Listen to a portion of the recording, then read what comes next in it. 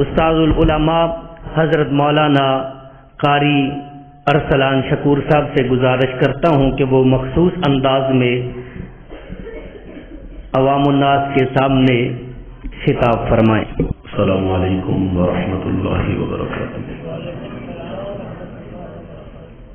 अलैक्म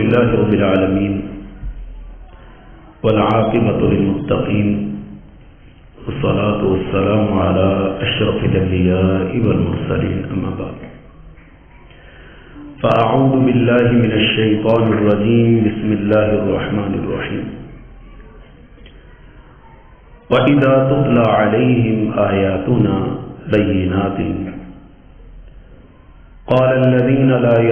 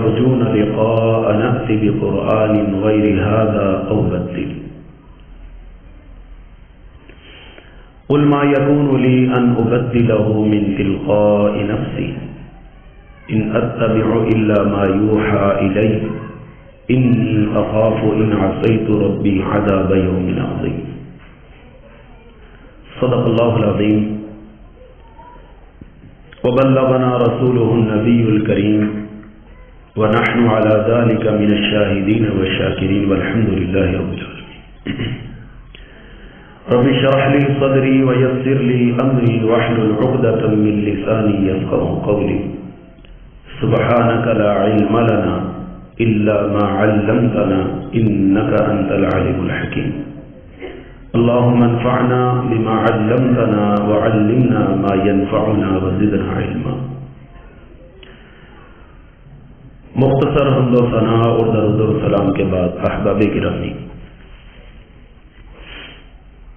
असल खिताब तो हजरतुल्लाम का होगा। मैं तो सिर्फ़ हुक्म की तामील के लिए हाजिर हुआ हूँ। मैंने आपके सामने सूरह यूनस की एक आयत मुबारक की तिलावत की है। अल्लाह मालिकुल मुल्क इरशाद फरमाते हैं कि इन लोगों पर जब हमारी आयात की तिलावत की जाती है वो लोग जो हमसे मिलने की उम्मीद नहीं रखते। वो कहते हैं ईद भी कुरान रिहाजा और इस कुरान के अलावा कोई और कुरान ले आओ, या यही कुरान रखना है तो इसके अंदर कुछ तब्दीली कर दो। अल्लाह सुबहान तला फरमाते हैं कि, ए प्यारे हबीब सल्लल्लाहु अलैहि वसल्लम, आप फरमा दीजिए, मा यकून उली अन उबद्दिलहु मिन तिलकाई नफ्सी। मेरे लिए यह जायज़ नहीं है कि मैं इस कुरान मजीद को अपनी तरफ़ से बदल दूँ। मैं तो खुद उस चीज़ की पैरवी करता हूँ इतवा करता हूँ, जो अल्लाह मेरी तरफ़ वही करता है। और रही बात जो तुम्हारी है, तुम कह रहे हो, इसमें तब्दीली कर दें। अगर तुम्हारी ये मैं बात मान लूँ तो ये बात अल्लाह की नाफरमानी जाती है, और मुझे तो अल्लाह से बहुत बड़े दिन के अजाब से डर लगता है। सवाल ये है कि आखिर वो कौन सी ऐसी चीज़ थी जिसकी वजह से इस कदर हंगामा खड़ा कर दिया गया कि मुसलमानों को मक्का से हिजरत करने पर मजबूर कर दिया गया? वो कौन सी ऐसी चीज़? तोहीद, लड़ाई का, झगड़े का बायस तो थी, लेकिन इसके साथ साथ एक बुनियादी चीज़ जो आज हमारे मुआशरे में भी बिल्कुल बराए नाम रह चुकी है, ये झगड़े का बायस इसकी मिसाल देता हूँ एक। जिन लोगों ने जानवर रखे हुए हैं, ये बात समझ सकते हैं। जानवर जब गोबर करता है ना, कुछ वक्त गुजर जाने के बाद उसके अंदर एक कीड़ा पैदा हो जाता है। उस कीड़े को उठाकर आप गुलाब के फूल के ऊपर रख दें। ज़िंदा रहेगा कि मर जाएगा? मर जाएगा। क्यों? उसकी पैदाइश, उसकी परवरिश, उसकी ज़िंदगी के अयाम वो गंदगी में गुजर रही जब एक साफ़ सुथरे माहौल के अंदर, पाकिजा और खुशबूदार माहौल के अंदर उसको रखा गया, उसकी तबीयत के अंदर गवारा ना हो सका, वो मर जाता है। यही हालत को जो कुफारे मक्का की थी।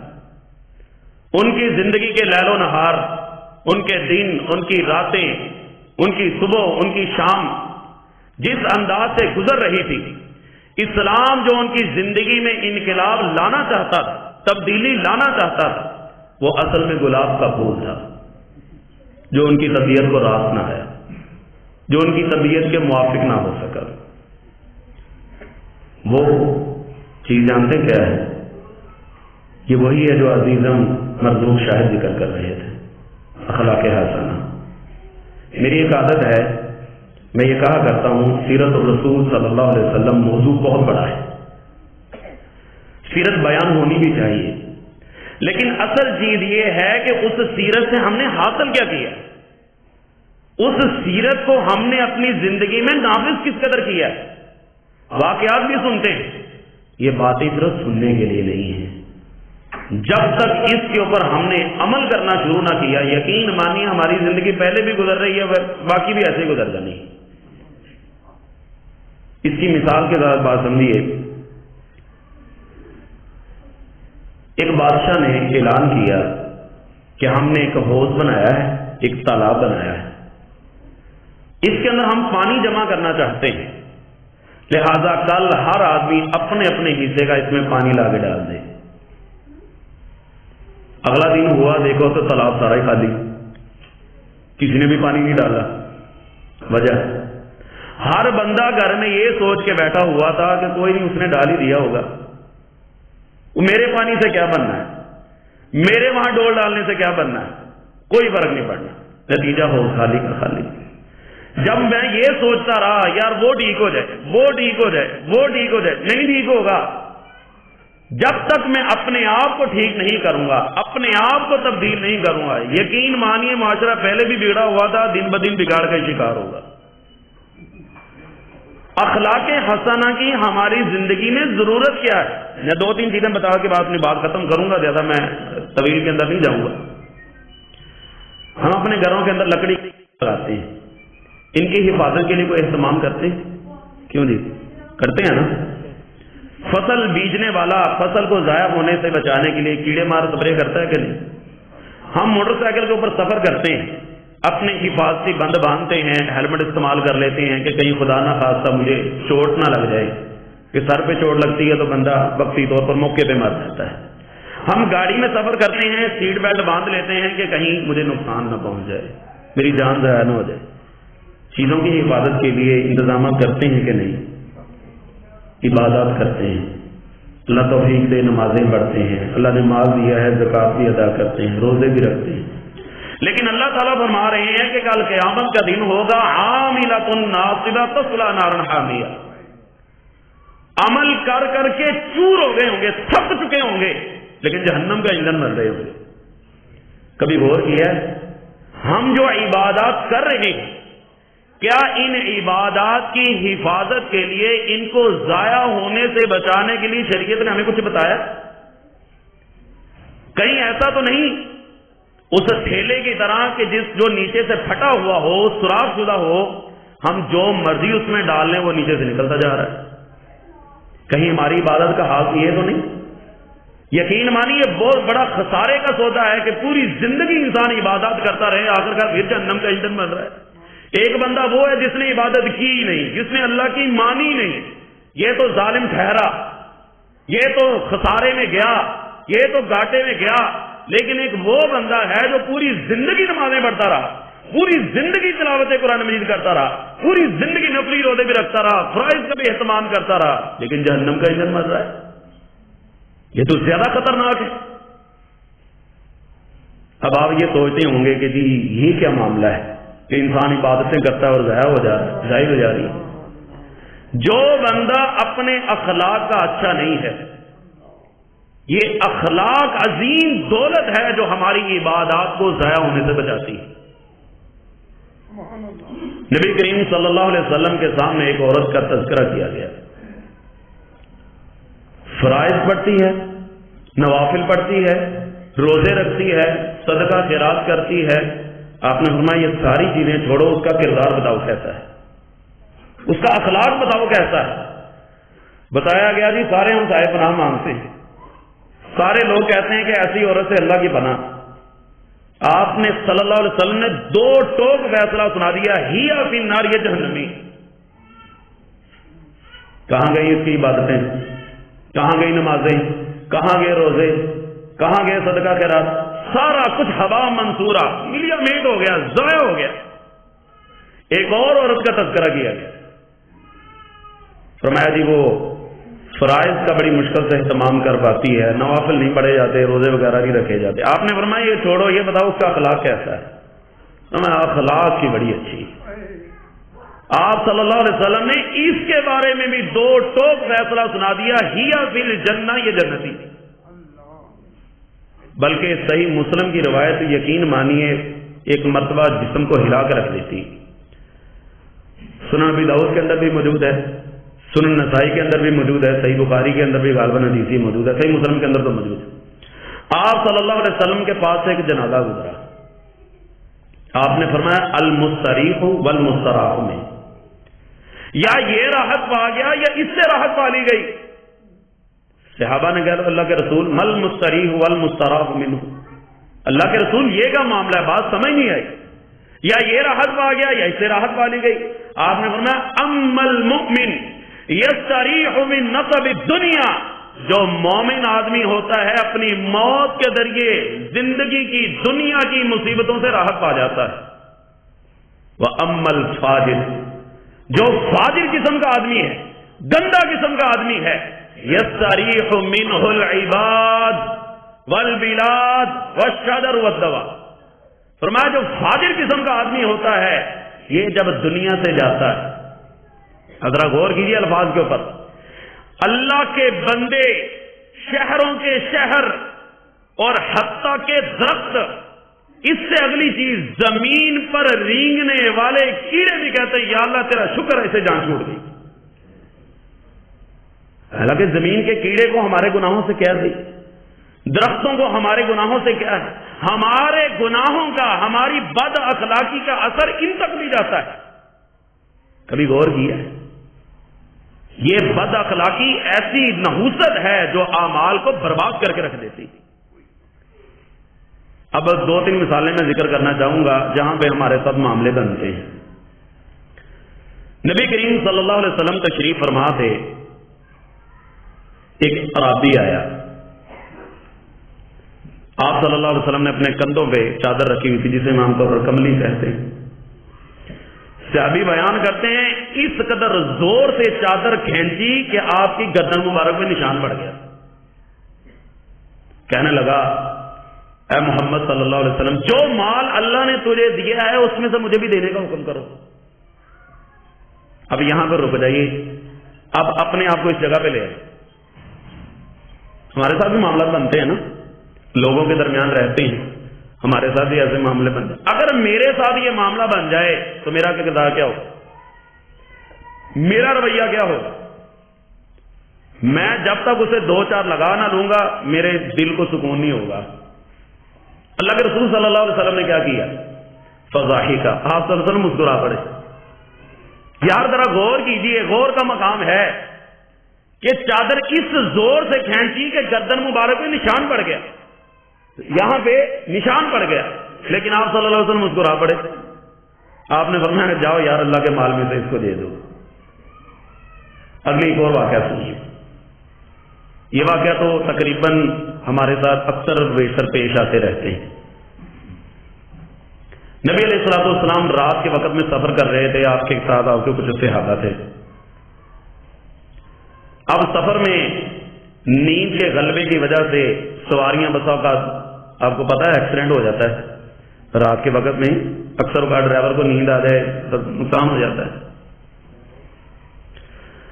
एक सहाबी जो अपनी सवारी के ऊपर सवार थे ऊँटनी के ऊपर, जितना हमारे मोटरसाइकिल के आगे एक स्टैंड सा नहीं लगा होता है, जिसके ऊपर हम चीज़ें लटका लेते हैं। इस तरह वो लकड़ी का टुकड़ा था।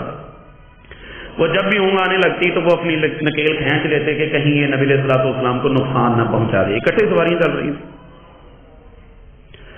चलते चलते एक मकाम वो भी आया, एक वक्त वो भी आया, जब वो लकड़ी का टुकड़ा आप सल्लल्लाहु अलैहि वसल्लम की टांग मुबारक के साथ टच हुआ और उसने आपकी टांग मुबारक को जख्मी भी कर दिया। सिहाबा कहने लगे, वो सिहाबी फौरी तौर पर उठे और नकेल को खेचा, देखा आप सल्लल्लाहु अलैहि वसल्लम की टांग मुबारक जख्मी हो गई। कहने लगे, अल्लाह के रसूल मेरे लिए अल्लाह से इस्तेफार कीजिए, गलती हो गई। आप सल्लल्लाहु अलैहि वसल्लम फरमाया यार, कुछ नहीं होता। चलो, चलने वाली बात करो। यहाँ पर रुक कर फिर अपने आप को यहाँ पे ले आइए। मैं मोटरसाइकिल चलाता हूँ, गाड़ी चलाता हूँ, ट्रक चलाता हूँ, साइकिल चलाता हूँ, मैं भी रोड के ऊपर जाता हूँ। अगर खुदा ना खासा हमारे साथ ये मामला बन जाए, मेरी मोटरसाइकिल के अंदर कोई गाड़ी का टकराव हो जाए, गाड़ी का नुकसान हो जाए, मुझे कोई चोट लग जाए, मेरा किरदार क्या होता है? मेरा रवैया क्या होता है? अल्लाह माफ़ फरमाए गालियाँ, बुरा भला, उसको मारना, पीटना। क्या मेरे मारने, पीटने से मेरे बुरा भला कहने से मेरा नुकसान पूरा हो जाएगा? वो अल्लाह के बंदो, नबी सलाम की अखलाक की बात चलती है, बातें होती हैं। इस अखलाक को हम अपनी जिंदगियों में क्यों नहीं लेके आते? हमारा दिल गुस्से से भरा पड़ा है। हम फटे जा रहे हैं। हमें कोई छोटी सी बात कह दे, हम गुस्से के मारे ऐसी ज़ुबान बसागत इस्तेमाल कर लेते हैं कि अमान बल हफीज। नबी करीम सल्लल्लाहु अलैहि वसल्लम का फरमान है कि बंदा अमल करता रहता है, करता रहता है हत्या के इसके और जन्नत के दरमियान सिर्फ़ एक बलिष्ठ फासला रह जाता है। लेकिन आखिरी वक्त में मुँह से ऐसा कलमा कह देता है कि जहन्नम के गड़े में जा गिरता है। क्या हमारे अंदर बर्दाश्त खत्म हो गई? कुत बर्दाश्त खत्म हो गई। सईद आशा रज़ी अल्लाह तला ने पूछा था एक मरतबा, अल्लाह के रसूल सल्लल्लाहु अलैहि वसल्लम से, अल्लाह के रसूल, ओहद के मैदान में जो आपको तकलीफ़ आई आई। आप भी जख्मी हुए, आपके सत्तर से हाबा शहीद हुए, सत्तर जख्मी हुए जलील कदर से हाबा शहीद हुए। अल्लाह के रसूल, क्या कोई ज़िंदगी में ऐसा वाक्य भी आया है जो ओहद से भी ज़्यादा आपके लिए गमगीन हो? जरा गौर कीजिए। ओहद के मैदान में सत्तर से अबा शहीद हुए, सत्तर जख्मी हुए। उनमें सैयद शुहदा हज़रत हमजा भी रज़ी अल्लाह तला तो आप सल्लल्लाहु अलैहि वसल्लम फरमाया अच्छा हाँ मुझे ताइफ का सफ़र कभी नहीं भूलेगा। ताइफ का सफ़र मैं कभी नहीं भूल सकता कि जब इब्ने अब्दिया लैल के सामने मैंने अल्लाह की दावत को रखा, उन लोगों ने सिर्फ़ मेरी दावत को ठुकराया ही नहीं बल्कि ओबाश किस्म के लड़के मेरे पीछे लगा दिए जिन्होंने मुझे पत्थर मारे। और इस कदर लहू लहान किया कि आप सल्लल्लाहु अलैहि वसल्लम का पाँव मुबारक जूती के साथ यूँ चिपक रहा था। वो तो एक बाग में पना ली। फरिश्ते ने आके कहा, हुक्म करे तो दो पहाड़ों के दरमियान पीस के रख दो। यहाँ जरा बर्दाश्त का मादा देखिए, खुदा की कसम मैं समझता हूँ पूरी ज़िंदगी, पूरी दुनिया के हौसले इकट्ठे कर लेना तो आप सल्लल्लाहु अलैहि वसल्लम के हौसले का मुकाबला नहीं कर सकते। बर्दाश्त का इस्तकामत का पहाड़ थे रसूलुल्लाह सल्लल्लाहु अलैहि वसल्लम। आज हम तो थोड़ी सी परेशानी आती है कि मिनट से पहले घबरा जाते, डगमगा जाते। आप सल्लल्लाहु अलैहि वसल्लम ने बदवा की उनके लिए? हम तो एक मिनट से पहले बदवाएँ देना शुरू कर देते हैं ना। लाना तेरे ऊपर, पिटे मुँह तेरा, फलां फलां फलां। यकीन मानिए ये वो वक़्त याद कीजिए, अकेले रसूलुल्लाह सल्लल्लाहु अलैहि वसल्लम तने तनहा है। कोई साथ में सपोर्ट करने वाला नहीं है, सिवाय अल्लाह के। एक हो ना साथ में साथी, कहते हैं, एक अकेला दो ग्यारह।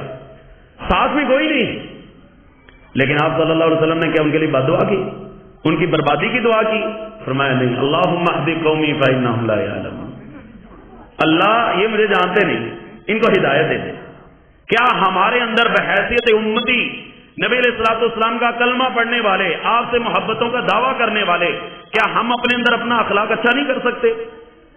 वो करना चाहिए इस बुनियाद पर कि हमारी इबादत को जाया होने से बचाने के लिए रीढ़ की हड्डी की हैसियत किरदार अदा कर रहा है वो। हजरात, ये बहुत ज़रूरी है। हम अपनी ज़ुबान से ऐसे कलिमात निकाल जाते हैं। अल्लाह ताला ने तो यहाँ तक फरमाया है कि वो लोग जो अल्लाह को छोड़कर दूसरों की इबादत करते हैं, तुमने उनको भी बुरा भला नहीं कहना। उनके मबूदों को बुरा भला नहीं कहना। वला तसुबुल्लदीन यदून जो लोग अल्लाह को छोड़कर गैरों की इबादत करते हैं, तुमने उनके मबूदों को भी बुरा भला नहीं कहना। क्यों? तुम उनको बुरा भला कहोगे, वो तुम्हारे हकीकी रब को बुरा भला कहेंगे। बात तो यहाँ तक है। लेकिन हम मादरत के साथ मैं, क्योंकि आम एक लेवल पे गुफ्तू मैंने करनी होती है। हम लोग जूती पहनने लगे ना, सादा सी बात है, जूती पहनने लगे जूतियाँ मुझसे नहीं पहनी जा रही, गलती मेरी है। जूती का क्या कसूर है? हम जूती को बुरा भला कहना शुरू कर देते हैं। गाड़ी स्टार्ट कर रहे हैं, गाड़ी स्टार्ट नहीं हो रही किक मार रहे हैं, ये गाड़ी का कसूर तो नहीं है ना मशीनरी है। नतीजा, उसको बुरा भला। मोबाइल इस्तेमाल कर रहे हैं, लोगों को कोई मसला बन गया है, उसको बुरा भला। यानी क्या हम अपने आप को इस लेवल पे ला के अपना अखलाक ठीक नहीं कर सकते? क्यों जी एक बंदा वो है जो रात को क्याम करता है, एक बंदा वो है जो दिन को रोजा रखता है। नबी करीम सल्लल्लाहु अलैहि वसल्लम ने फरमाया, इन्नल मुमिना लयुदरिको बेहुस्न खुलुक ही दराजत साइमिल वो बंदा जो अपने अखलाक का अच्छा है, इससे रोजा नहीं रखा जाता। इससे तहजद नहीं बढ़ी जाती। अखलाक अच्छा कर ले, ये रोज़े के बराबर भी अजर हासिल कर लेगा तहजद का भी अजर हासिल कर लेगा। छोटी सी बात नहीं हजरा यही वो बुनियादी चीज़ें थी, जिसकी वजह से वो मुआशरा इन चीज़ों को कबूल करने के लिए तैयार नहीं था, कि हमने तो पूरी ज़िंदगी बदअखलाकी में गुजारी है। अब ये अच्छा अखलाक, ये चीज़ें हमें अपनानी पड़ेंगी। नतीजा उन्होंने इनकार कर दिया, मामला खराब हो गया। अब देखिए, रसूलुल्लाह सल्लल्लाहु अलैहि वसल्लम ने मदीना तैयबा में जाकर जब एक माहौल बना दिया तो तरबियत कैसी हुई? आखिरी बात सुना के बात को खत्म करूँगा। हज़रत असमा रदी अल्लाह तला को जानते हैं? कौन है? हज़रत असमा, अम्मा ऐशा रदी अल्लाह तला की बड़ी बहन है। इनको जुन्न ताकत अहम भी कहा जाता है। हज़रत जुबैर रदी अल्लाह तु की अहलिया है। इनकी सौ साल की उम्र थी। और सौ साल की उम्र में भी दांत एक भी नहीं लड़ा और अकल वैसी की वैसी सलामत थी। इनके घर के बाहर ना एक बंदा आया, दस्तक दी, कहने लगा, गरीब आदमी हूँ, बच्चों के लिए रोजी रोटी कमाना चाहता हूँ। अगर आप इजाज़त दें तो घर के बाहर छापड़ा लगा के बैठ कहने लगे, ठीक है, लगा लो, कोई एतराज़ नहीं। हाँ रुको। अभी मेरे शोहर आ जाएँगे, उनसे इजाज़त ले लेना। वो बाहर बैठ गया। चंद लम्हे गुजरे, हज़रत जुबैर रज़ी अल्लाह तशरीफ़ ले आए। जब ये दाखिल होने लगे ना तो बंदा फिर आ गया। असमा भी दरवाजे में खड़ी थी कहने लगा, गरीब आदमी हूँ, बच्चों के लिए रोजी रोटी कमाना चाहता हूँ तो क्या आपके घर के बाहर छाबड़ा लगा लू? हमें तो दुकानों के बाहर लोग मोटरसाइकिल नहीं लगाने देते। ऐसा ही होता ना। पीछे कर रही अपनी मोटरसाइकिल। अखलाकी हालत ये है। मोटरसाइकिल नहीं खड़ी करती तो हज़रत असमर रज़ी अल्लाह तारा जो चंद लम्हे पहले ये कह रही थी कि ठीक है, लगा लो। तो क्या कहने लगी? इस पूरे मदीने में आ जाके तुम्हें सिर्फ़ हमारा घर मिला पहले क्या कह दिया है? कि लगा लो। अब क्या कह रही है? जब शोहर आ गया। इस पूरे मदीने में आ जाके तुम्हें सिर्फ़ हमारा घर मिला है। हज़रत जुबैर रज़ी अल्लाह कहने अल्लाह की बंदी, अगर ये बैठ जाएगा, रोजी रोटी कमा लेगा तो क्या हो जाएगा? कहने लगे, ठीक है, अगर आपको कोई एतराज़ नहीं है तो फिर मुझे भी कोई एतराज़ नहीं। क्या समझे? इंतहाई बला की जहीन थी। फतीन औरत थी उन्होंने महसूस कर लिया कि कहीं मेरा शोहर इसको ना ना कर दे। अंदाज ऐसा ऐसा इख्तियार किया कि शोहर से, के मुँह से मजबूरन कहलवा दिया कि यहाँ यहाँ बैठ जाए और रोजी रोटी कमा ले। ये थी वो अखलाकी कदरें जो रसूलुल्लाह सल्लल्लाहु ने मज़बूत कर दी। और आप सल्लल्लाहु अलैहि वसल्लम ने अपनी बेसत का मकसद यही बताया था। इन नमा वो मकारिमल अखलाक। मुझे अखलाकी कदरों की तकमील के लिए अल्लाह ने भेजा है। बल्कि आप सल्लल्लाहु अलैहि वसल्लम ने फरमाया इन अकमल अलमुमिनीन ईमान अहसन कुलुका। के मोमनों में से कामल तरीन ईमान वाला वो है जो अखलाक के लिहाज से अच्छा है। आखिरी हदीस आप सल्लल्लाहु अलैहि वसल्लम ने फरमाया, कल क्यामत के दिन जब अल्लाह तराजू लगाएगा और अमाल तोले जाएँगे, उन अमाल के अंदर सबसे वजनी चीज़ अगर कोई होगी तो अखलाक हसना होगी। तुझे बताना चाहिए कि नहीं? अपने अंदर हौसला पैदा कर लेंगे। यकीन मानिए कि अगर आप इस पर अमल कर लें, मैं भी अमल कर लूँ। मुआशरे में से चंद अपराध ये अगर इख्तियार कर लें तो चलो बुरे लोग, मिसाल हम कहते हैं, खत्म हो जाए, खत्म, ये इस तरह खत्म होगा मामला। अच्छे लोग आ जाएँगे, आप सुनेंगे, आप लोगों के साथ मामला अच्छा करेंगे। एक माशरा, मिसाली मुआशरा तश्कील पा जाएगा। रसूलुल्लाह सल्लल्लाहु अलैहि ने ही हमारी तरबियत की है, और यही हमें सिखाया गया है। छोटी छोटी बातों पे लड़ना, झगड़ना, और हर वक्त उसको बतंगड़ बना लेना ये कोई अच्छी बात नहीं है। अल्लाह ताला से दुआ है कि अल्लाह ताला जो कहा है कहने वाले को भी, सुनने वालों को भी अमल की तोफ़ी अता फरमाए। अल्लाह हम सब का हामी नासिर हो। अल्लाह हमारा खात्मा ईमान के ऊपर फरमाए और अल्लाह ताला आप सब की मोहब्बत को कबूल फरमाए और अल्लाह ताला मुझ समेत आप तमाम हजरात को अमल की तोफ़ी अता फरमाए। व दावा अनिलहमदिल्ला रबालमीन